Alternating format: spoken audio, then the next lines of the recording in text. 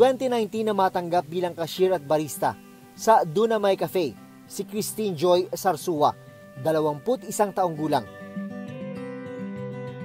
Nang magsara ang cafe dahil sa pandemya, ramdam na ramdam daw nila ang hirap. Kaya sa pagbubukas ito ngayong araw, Sir Mark, muli silang nabigyan ng pag-asa. nagpapasalamat po ako kay Papa God. Tapos sa nagmamanage niya itong Green Foundation. Kasi po binigyan niya po kami ng pagkakataon na magkaroon ng, ng trabaho. Ang motibasyon ni Joy sa pagtatrabaho, matulungan ang pamilya niya. Panganay siya sa limang magkakapatid. Noong araw na ginagawa namin ang kwento na ito tungkol sa Dunamay Cafe, lahat ng kanilang mga drinks dito, libre. Yun ay para maingganyo ulit yung mga dati nilang customer na magbalik at tangkilikin muli sila. Hi, Joy! Hello po. Pwede ba akong pahingin ito? Pahingi. Libre lang, di ba? Libre ngayon. Ako. Ito isa, masubukan man lang. Ano bang pinapangarap mo talaga, Joy? Ang pangarap ko po talaga is ano, maihahon yung pamilya ko sa hirap. Kasi po wala na pong trabaho si Papa. Tapos si Mama po nasa bahay lang, ganun. Kaya gusto ko po silang tulungan. Ipapakita ngayon ni Joy kung paano niya tinitimpla ang isa sa kanilang bestseller sa cafe. Ang gagawin ko po ay choco chips.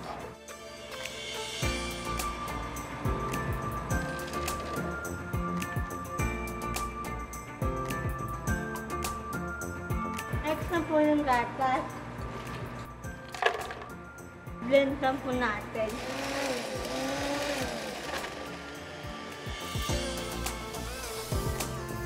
Tapos lalagyan natin ng whipped cream.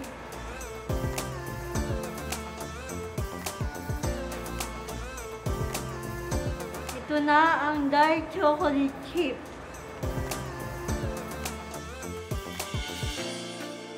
Bukod sa trabaho, nakahanap rin daw si Joy ng pangalawang pamilya dito sa coffee shop.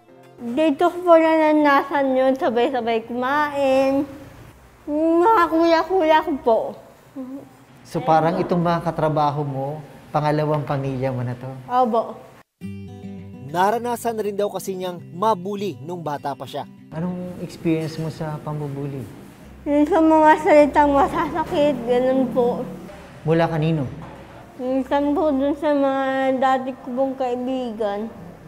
Anong mga masasakit na salita ang narinig mo mula sa kanila? Hindi ko na po kaya magtrabaho. Dahil sa kabansanan ko, ganun. Ito raw ang pangunahing layunin ng cafe na ito. Ang ma-empower at mabigyan ng oportunidad ang mga gaya ni Joy. Nagsimula po yung Dunamay Cafe since 2017. Uh, the Grain Foundation has conducted a barista training to all persons with disability with the marginalized person, people. Pinursige nila sa sarili nila, so gusto ko matuto.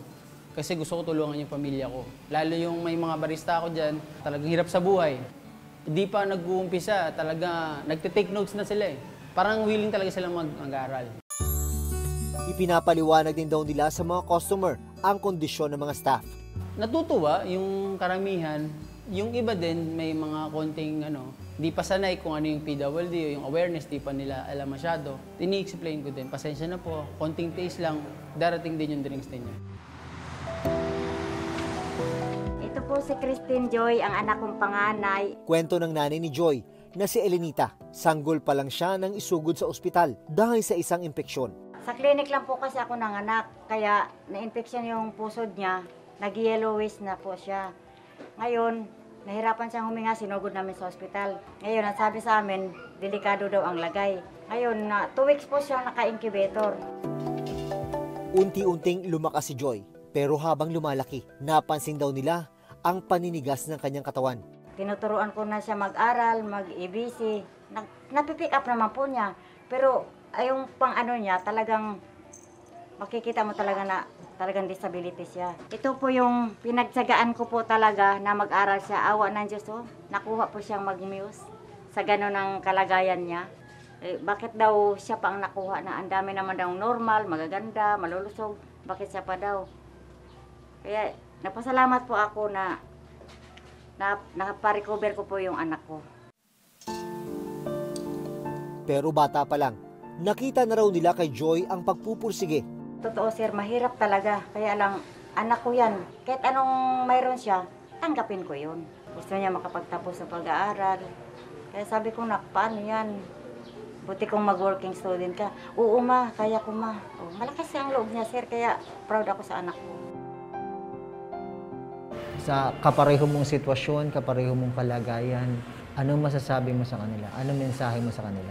Magtiwala lang po kay, kay Papa God. At saka, laban lang po.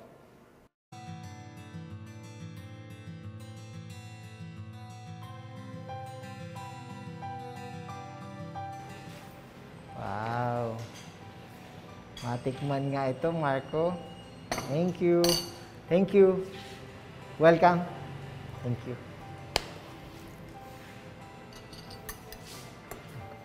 Sir Mark? Sa muling pagbubukas ng coffee shop na ito, nakatok ang magpinta ng bagong disenyo sa pader ang isa sa mga barista na si Marco, isang deaf-mute. Na-rescue siya ng isang foundation sa lansangan ng Maynila. 10 years old po siya noon nung nakuha siya. And then, wala siyang identity. Hindi niya alam kung nasa yung magulang niya, kung ano yung pangalan niya. So, shelter po namin siya dito sa foundation. Sinubukang hanapin ng foundation ng kaanak ni Marco, pero bigo sila. Kaya kinupkup na lang nila ang nooy sampung taong gulang na bata. Sila na rin ang nagbigay rito ng bagong pangalan.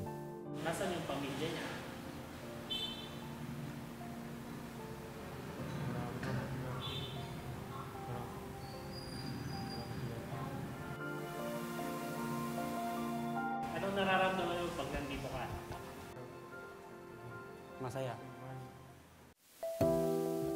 Sa shelter na rin nahasa ang talento ni Marco sa pagbibinta. Si Marco, masasabi ko po is, yun, mabait na bata, masipag. Para siya ditong kuya sa foundation kasi maaasahan talaga siya. Ang mga drawing sa pader ng foundation, si Marco rin ang nagpinta. Pagkatapos magpinta, pagiging barista naman ang pagkakaabalahan ni Marco.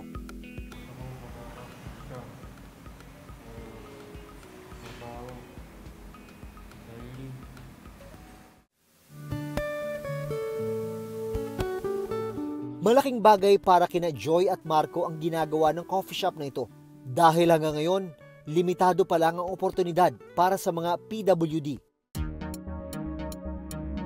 Katunayan sa pag-aaral ng Philippine Institute for Development Studies, 43% ng mga PWD na edad 15 to 70 ang unemployed o walang trabaho.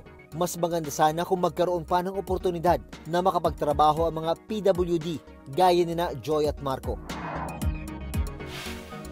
Nakasaad sa Republic Act 10524 o Magna Carta for Persons with Disability na lahat ng government agencies ay dapat mag-reserve ng 1% ng employment para sa mga PWD. Ang mga pribadong kumpanya naman na may 100 employees ay hinihikayat na maglaan din ng 1% ng kabuang employment nila para sa mga PWD.